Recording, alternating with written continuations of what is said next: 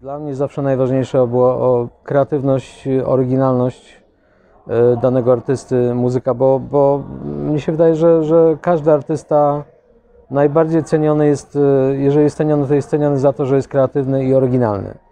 E, Więc e, ja zawsze na to stawiałem w swojej muzyce w miarę możliwości, na ile to mi moja osobowość, mój talent poz, pozwala, ale też zawsze szukałem takich współpracowników, jeżeli chodzi o moją e, działalność artystyczną i również układając program na festiwalu, teraz rzecz biorąc, czy innych festiwalach, które wcześniej miałem przyjemność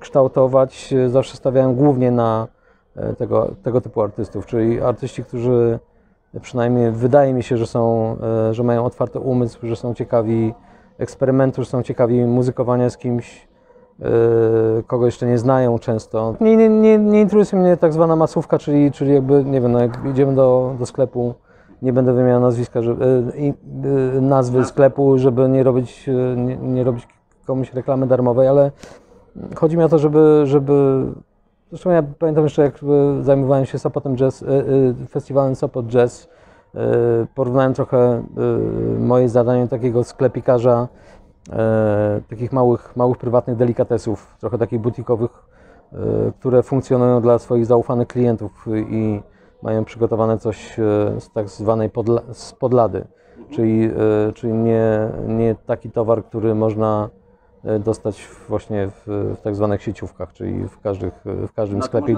za rogiem. Według mnie najlepsza sztuka, e, najlepsza sztuka to jest taka sztuka, która stawia na ryzyko. Stawia Właśnie. na wyjście z, z strefy, ze strefy komfortu. To się może udać, to się może nie udać. Jasne. To jest jakby założone, wkalkulowane.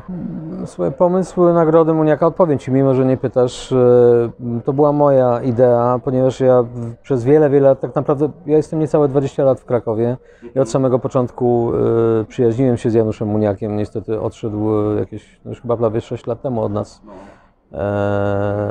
I pomyślałem sobie, że, że, że tak naprawdę no, trzeba zrobić coś jak najszybciej, żeby, żeby Janusz nie został zapomniany. Mimo, mimo że oczywiście w dalszym ciągu e, istnieje klub u Muniaka na ulicy Floriańskiej przy rynku głównym, e, ale wydaje, wyda, wydaje mi się, że.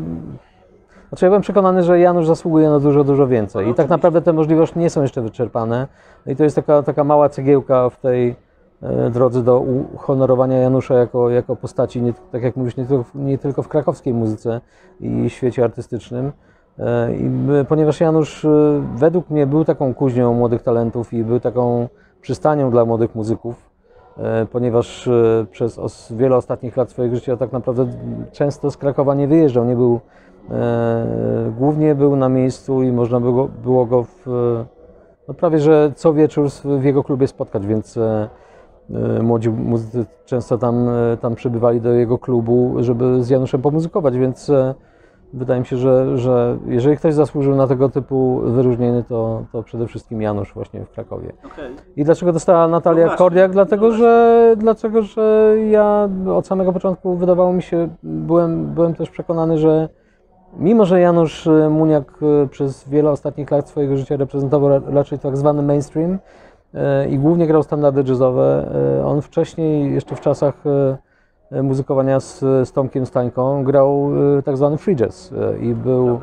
był całkiem innym muzykiem niż, e, niż e, ten artysta, którego się kojarzy z ostatnich lat e, właśnie jego, jego życia.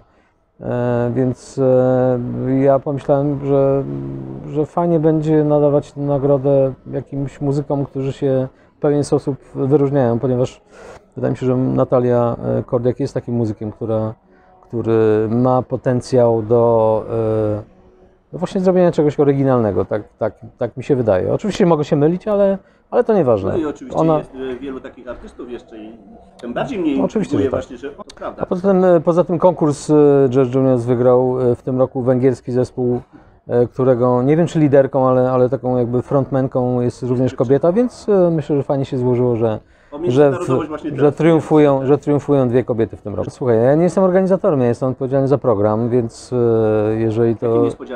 Jeżeli to e, zadanie zostanie mnie powierzone, więc e, no zobaczymy. zobaczymy. Ja, tak naprawdę pomysłów jest zbyt wiele, muzyków jest zbyt wiele, zespołów jest zbyt wiele, ciekawej muzyki jest zbyt wiele, więc ja z tym akurat, z tym akurat nie mam w ogóle problemu. No to ja powiem tak, to do zobaczenia za rok? E, nie wiem, nie wiem. Ja, nie, nie to jest pytanie do organizatorów. Do to jest pytanie do organizatorów. Dziękuję, Adam. Dziękuję. Dziękuję. Dziękuję. Dziękuję.